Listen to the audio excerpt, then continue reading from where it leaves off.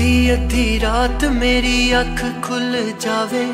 ਯਾਦ ਤੇਰੀ ਸੀਨੇ ਵਿੱਚ ਖਿੱਚ ਜਈ ਪਾਵੇ।